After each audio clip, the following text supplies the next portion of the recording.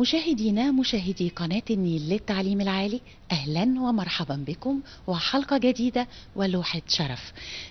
كما تعودنا نرسم دائما خطوطا عريضة للرحلة والحياة. العملية والعلمية والبحثية لعلمائنا الكرام. ويسعدنا أن يكون معنا اليوم الأستاذ الدكتور جلال الدين حمزة الجماعي وكيل أول وزارة التعليم العالي ورئيس قطاع الشؤون الثقافية والبعثات بالوزارة. أهلا بحضرتك معنا. دكتور جلال رحلة طويلة آه، مثمرة آه، في المجالات عدة بحثية وعلمية. وأكاديمية وأخيرا إدارية وهي عبء ثقيل أعلم على أي عالم آه، مهتم بالبحث والعلم. من أين نبدأ الرتوش الأولى للوحة الشرف التي نرسمها لسيادتكم؟ عندما كنت طالبا في كلية العلوم البداية الأولى. البداية الأولى. وتخرجت من كلية العلوم جامعة القاهرة قسم الكيمياء عام 1974 ومن بعدها بدأ المشوار آه، مشوار حياة آه، نقول على مدى ثلاثون عاما آه، في مجالات عدة مجالات بحثية وإدارية نعم. وأمور كثيرة تشابكت على مدى هذه الأعوام وأثمرت الكثير من الإنجازات. آه، دكتور جلال آه، لنبدأ بمجال التخصص. هل كان عن رغبة حثيثة لهذا التخصص أم الظروف هي التي دعت للاتجاه إلى هذا التخصص؟ طبعا لا. هناك ظروف عدة ما فيش داعي نذكرها حضرتك تعلمها آه، أكثر تمام. مني. لا هي كانت عن رغبة فيعني أنا أحببت علم الكيمياء لأنه آه، علم محسوس آه، وتستطيعي من خلال المشاهدة آه، أن تقومي باستنتاج ما يحدث. و- وهو فرع من العلم آه، يعني الابتكار في مجال الكيمياء يعتمد على التخيل ويعتمد على تصور الأشياء آه، بأكثر من صورة. وتخصصت في مجال الكيمياء العضوية لأن الكيمياء العضوية آه، يعني فرع يختص بكل نواحي الحياة. فكل ما حولنا من يعني من مواد كلها أغلبها مواد عضوية. وتخصصت بال- بالتحديد في مجال الكيمياء الطبية أو ال medicinal chemistry وهي آه، الكيمياء الخاصة أو اللي تؤدي في النهاية تصنيع إلى دوائي. آه، تصنيع دوائي وأنا أعمل بالتحديد في مجال كيف أن تقومي بتصميم دواء. بتركيب معين آه، يؤدي في النهاية إلى وظيفة معينة داخل الجسم آه، ويستخدم فيما بعد في مجال العلاج. جميل. ماذا عن رسالتي الماجستير والدكتوراه؟ وهل تم الإعداد لهما في القاهرة؟ أم آه، يعني آه، حضرتك حصلت على بعثات خارجية للحصول عليهما؟ لا الحقيقة أنا يعني حصلت على ال- ال- الماجستير والدكتوراه من داخل أرض الوطن وحصلت على الدكتوراه من كلية العلوم جامعة القاهرة عام 1982 آه، ثم بعد هذا التاريخ بدأت رحلتي في السفر للخارج وإجراء البحوث بالجامعات العالمية. في بلدان عديدة آه، من دول العالم. هركز على الجانب البحثي والعلمي لأن أنا عارفة أنه الأحب لحضرتك. وهتكلم عن أهم الأبحاث العلمية اللي حضرتك آه، قمت بيها ووجدت صدى سواء في الداخل أو في الخارج. هو الحقيقة أنا بدأت يعني رحلتي العلمية في السفر الخارج. بحصولي على زمالة آه، هيئة علمية تدعى هيئة الألكسندر فون هومبولت وهي هيئة علمية عالمية آه، متواجدة في آه، دولة ألمانيا وهي تابعة لوزارة البحث العلمي وأيضا وزارة الخارجية بت- بتتبعها يعني هي بتشرف عليها جهات عديدة. وكان هذا آه، بداية مشواري في آه، آه، إجراء ال- البحوث. ثم بعد ذلك سافرت إلى الولايات المتحدة الأمريكية حيث عملت أستاذا زائرا بجامعة برينستون بولاية نيوجيرسي بالولايات المتحدة الأمريكية. ثم بعد ذلك آه، كانت هناك العديد من من الدعوات من هيئات علمية عالمية آه، وجامعات أيضا. وعملت في بلدان كثيرة مثل إنجلترا والنمسا وفرنسا وسويسرا بلدان كثيرة جدا. أجريت فيها أبحاث بجامعات آه، هذه الدول وقضيت في هذه الدول فترات آه، كثيرة. وكنت دائما على صلة بالوطن يعني كنت أقضي فترة في الخارج وفترة داخل الوطن. نعم. آه، وكانت المدرسة العلمية في مصر مستمرة. وأثمرت طبعا هذه البحوث يعني لو تحدثنا بصورة آه، يعني أكاديمية آه،. عن الكثير من التطبيقات. سواء في صورة براءات علمية عالمية آه، آه، تم استنباطها من هذه البحوث وأيضا تجدي أن لها مرجعية عالمية على شبكة الإنترنت العالمية آه، ده بسبب الشراكة مع آه، جهات علمية أجنبية آه، ولا لأنك مصري آه، لا ليست بالتحديد. يعني الباحث يقوم بإجراء بحوث. نعم. وعندما تكون هذه البحوث لها فائدة علمية تطبيقية فتجدي أن الآخرون من آه، جميع دول العالم الذين يعملون في هيئات مناظرة أو في هيئات علمية مناظرة. أو مراكز أبحاث آه، عالمية يقوموا بقراءة هذه الأبحاث. ثم يقوموا آه، بتطبيق هذه الأفكار. وعندما تظهر تطبيقات يقوم بالإشارة إلى هذه التطبيقات أنها قد تم استنباطها آه، من البحوث الخاصة بي. فالآن عندما حضرتك تكتبي اسمي على آه، شبكة الإنترنت جوجل العالمية يظهر لحضرتك أكثر من خمسة آلاف آه، موقع علمي عالمي يتحدث عن تطبيقات هذه البحوث. وأيضا آه، كلها في المجال الدوائي وكلها في الدواء مجال الدوائي أو في مجال النظرية نفسها النظرية التي آه، آه، حضرتك بت- بتبتكريها.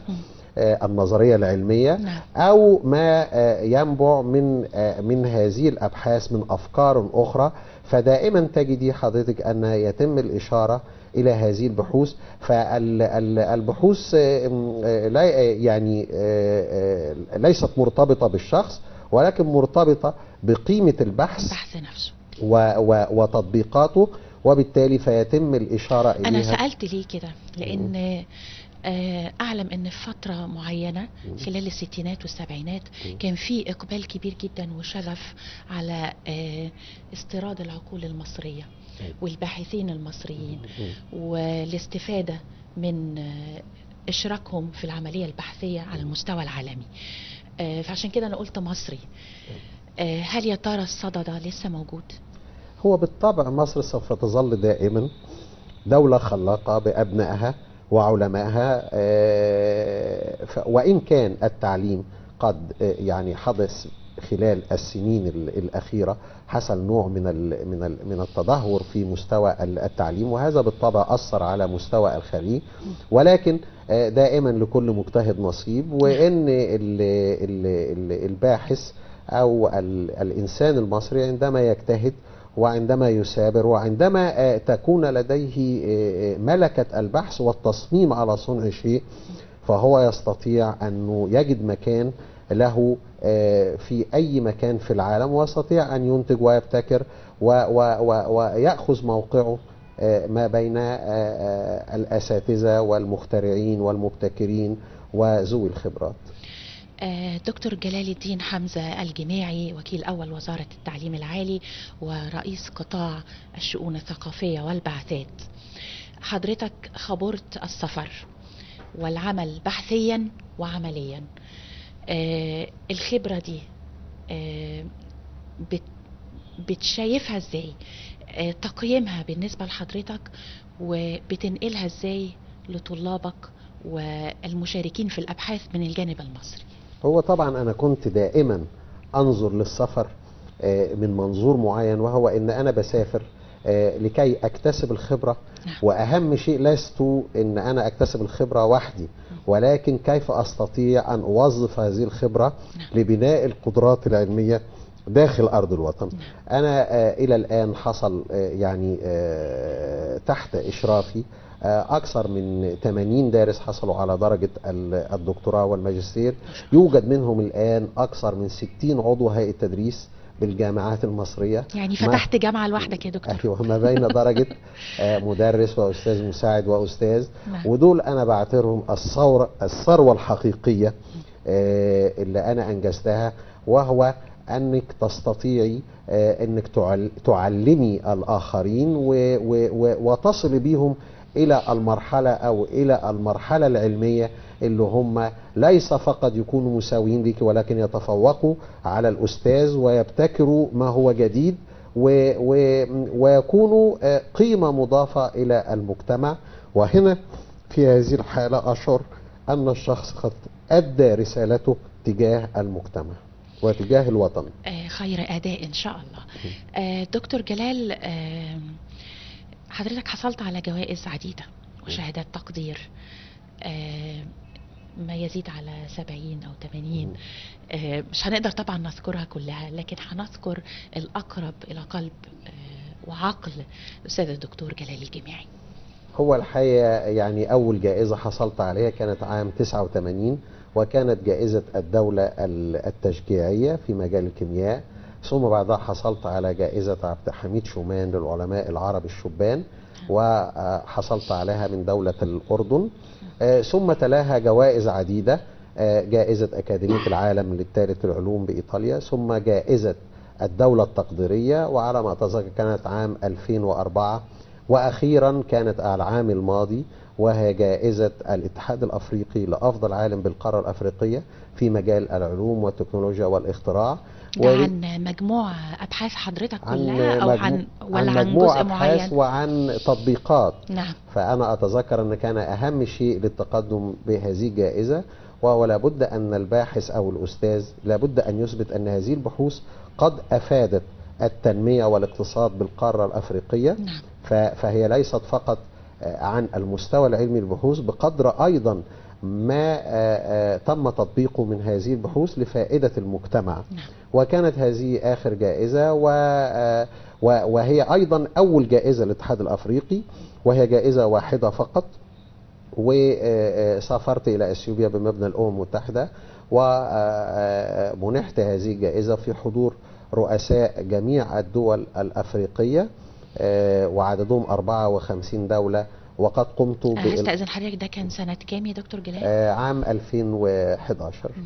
في يناير 2011 آه، 30 يناير بالتحديد و- آه، وكان في ذلك الوقت كانت ال- الثورة المصرية 25 يناير.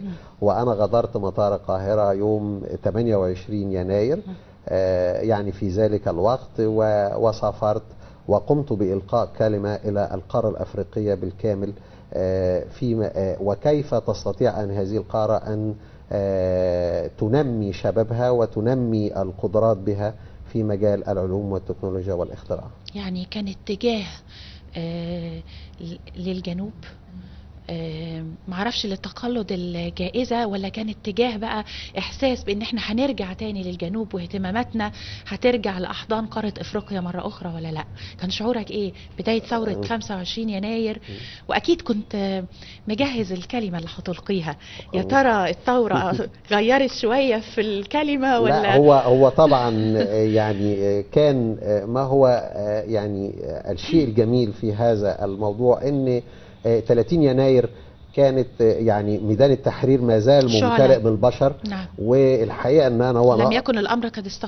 قد استتب. قد بعد. استتب بعد. فعلا. وبعدين الحقيقة إن أنا في ذلك الوقت وأنا باصعد السلم لأعتلي أعلى منصة في في الأمم المتحدة. فكان لها معنى أن المصري سوف يعيش دائما آه، رفعة لبلده وأن مصر سوف تظل دائما آه، هاماتها عالية. وأن المصري دائما آه، سوف يعمل ويجتهد من أجل رفعة هذا الوطن. فتوافقت الثورة مع الموقف الذي كنت أنا به وأنا أتذكر آه، إن أنا كان في ذلك الوقت بيغطي هذا الحدث آه، قناة النيل الأخبار ووجدت أن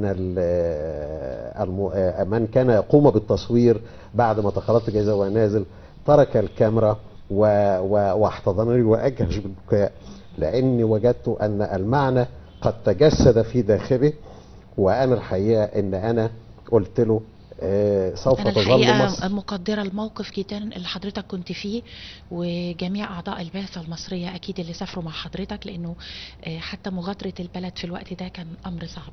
هو سهل. الحقيقة أيوه أنا غادرت يوم 28 وكنت تقريبا آخر طائرة غادرت المطار وبعد ذلك آه، تم إغلاق ال- المطار. والحقيقة أنا علقت وقتها وقلت للمصور قلت له سوف تظل دائما مصر نابضة اللهم آمين. بأولادها و و وشعبها آه، اللي هو دايما هيحميها دائما. آه، تكلمنا عن رحلات حضرتك دوليا وعالميا. ماذا عن سفريات حضرتك إقليميا وتقييمك للطفرة العلمية اللي بتشهدها بعض الجامعات العربية في الوقت الحالي؟ الحقيقة إن الدول العربية والدول الافريقيه حاليا بتشهد نهضة وتطور و...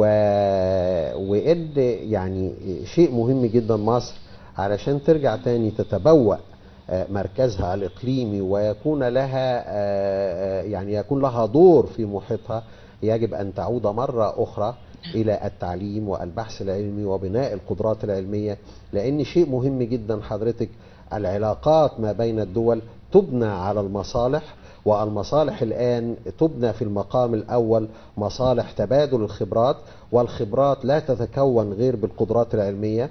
وبالتالي فحضرتك إحنا يجب أن نعلم أنها لكي تعود مصر دولة أخرى محورية وتتبوأ المكان اللائق لها ما بين دول المنطقة. فلا بد أن تعود مرة أخرى إلى العلم وبناء القدرات لكي نستطيع أن نشارك في صنع المستقبل لنا وللدول المحيطة بنا أيا كانت دول عربية أو دول أفريقية في القارة. آه، دكتور جلال الدين الجماعي حضرتك آه، خبرت العمل البحثي والعلمي والإداري قبل قيا- قيام آه، ثورة الخامس والعشرين من يناير بما يقرب من 25 عاما. ومر علينا دلوقتي ما يزيد على سنة ونص تقريبا. آه، أكيد حضرتك لمست الصعوبات والمشكلات اللي كانت بتواجه البحث العلمي والعمل الأكاديمي قبل الثورة. وانت دلوقتي بتتقلد آه، مركز آه، قيادي في وزارة التعليم العالي. عينيك على إيه؟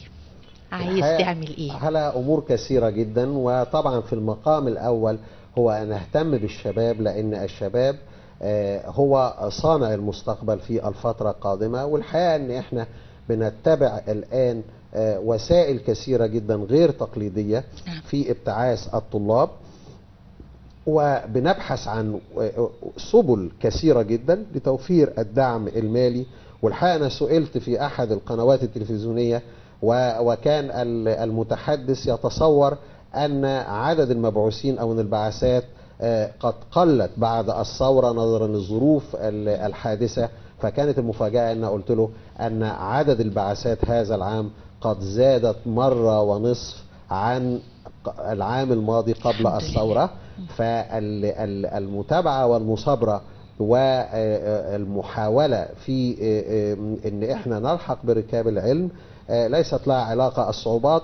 المجهود هو اللي يصنع النجاح وإن لابد إن دائما تكون هناك مثابرة وبالعكس والظروف الصعبة دائما هي التي تصنع النجاح. ف... ف... آه، فقلت له بالعكس إحنا عدد البعثات زاد وعدد البرامج زاد و... و... و... ونحن أعتقد أن أننا الآن على الطريق السليم وهناك الكثير من الأفكار اللي آه، بنعمل من أجلها إن شاء الله في خلال الفترة القادمة لابتعاث أكبر عدد من من الباحثين لبناء قدرات علمية في تخصصات نادرة وتخصصات آه، هامة جدا للدولة لبناء الاقتصاد المصري إن شاء الله. آه، دكتور جلال الجماعي كوكيل أول لوزارة التعليم العالي. آه، عدد كبير من الباحثين المتميزين في مجالات عدة وتخصصات مختلفة تعرضوا لظلم بين قبل ثورة الخامس والعشرين من يناير. هل يتم النظر إليهم؟ هل في نوع من التظلمات بتيجي لحضرتك؟ وكيف السبيل لحل مشكلات هؤلاء؟ أكيد أنتوا بتبصوا على الحديث والخارجين يعني في أولوية أكيد ل... ل... لإرسال البعثات من حديث التخرج و... والباحثين الجادين. ماذا عن من تعرضوا للظلم قبل ثورة الخامس والعشرين من يناير؟ لا هو الحقيقة إن أنا يعني فيما يخص نظام البعثات أو الابتعاث آه الآن نتبع نظام آه محكم جدا وهو بي- بيقوم على التنافسية وبيتم تشكيل لجان و, و, و آه ل- لإنها آه، يعني بنمر بمراحل كثيرة جدا. بتبدأ الأول من بحث المشروع البحثي لل- لل- للدارس هل هناك شروط ميسرة تضع في حسبانها العامل الزمني؟ و- ولكن هو أهم شيء هو إن حضرتك بنراعي جميع الأبعاد العلمية للابتعاث وبالعكس في بعض الأحيان حتى لما بيكون في أي يعني باحث بيتظلم من قرار اللجنة بيبقى في حاجة اسمها لجنة تظلمات يعني بأعيد الل- اللجان مرة أخرى نعم. بنعيد هذا ال- الاختبار.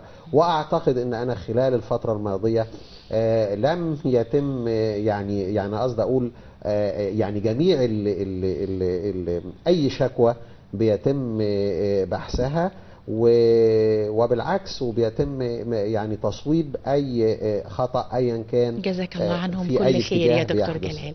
آه دكتور جلال هنيجي بقى لنقطة مهمة جدا ال ال يعني نقول إيه آه، في ثقل تم آه، تحميلك بيه وهو العمل الإداري. طبعا. وهي مشكلة معضلة بالنسبة, بالنسبة لأي باحث بيهتم بأبحاثه وإشرافه على رسائل الدكتوراه المختلفة والماجستير. آه، كيف تتعامل مع العبء الإداري؟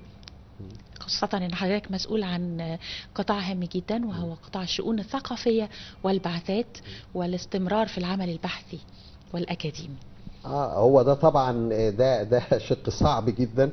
وده بيستلزم آه، من الإنسان إن هو يقوم بمجهود مضاعف.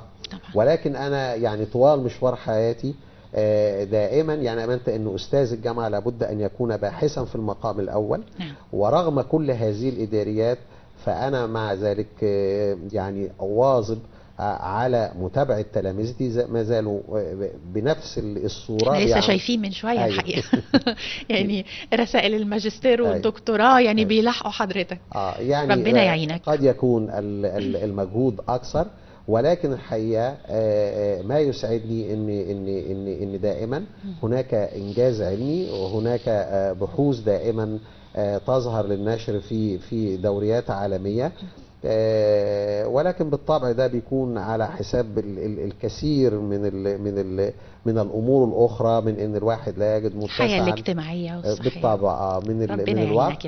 ولكن أنا بؤمن بإن ال- العلم الخبرة العلمية طبعا بتفيد في العمل الإداري كثيرا نعم. لأن زي ما حضرتك تعلمي أنا بقوم بعمل فني في المقام الأول نعم.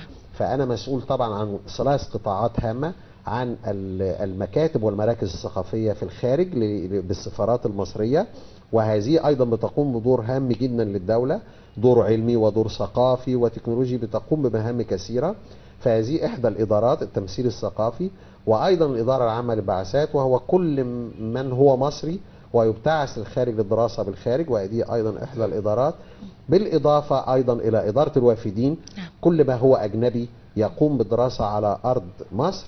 بالإضافة طبعا مسؤوليتي عن التعاون العلمي مع جميع الهيئات العلمية الأجنبية العاملة داخل مصر مثل هيئة الفول برايت الأمريكية وهيئة ال DAAD وال British Council المجلس الثقافي البريطاني. بجانب أيضا مسؤوليتي عن جميع الاتفاقيات العلمية فهي طبعا مهام كثيره مسؤولية كبيرة وشاقة. أعانك الله عليها. آه، دكتور جلال بدأنا الحلقة من حيث شئت وسنختمها أيضا من حيث أردت.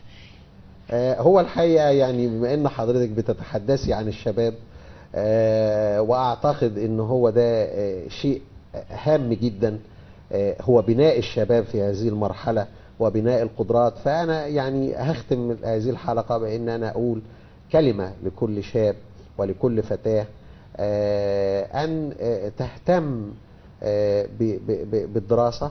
وتهتم بتح... ويهتم ال- الشاب بتحصيل العلم وأن نجعل العمل والتحصيل عقيدة لنا في الحياة وأن نثابر على تحصيل العلم وأنا متأكد أن نستطيع في المستقبل القريب عن طريق التحصيل الجاد للعلم آه، أن نبني القدرات ونبني الخبرات اللي هو آه، وطننا في أشد الحاجة ليها وفي أشد الحاجة لهذه العقول لبناء مستقبل باهر إن, إن شاء الله بمجهودات سيادتكم. آه الأستاذ الدكتور جلال الدين حمزة الجميعي وكيل أول وزارة التعليم العالي ورئيس قطاع الشؤون الثقافية والبعثات. نشكر لسيادتكم هذا اللقاء. أهلا وسهلا. أهلا بحضرتك. مشاهدينا مشاهدي قناة النيل للتعليم العالي كنا معا ولوحة شرف. شكرا لكم وإلى لقاء آخر. إن شاء الله.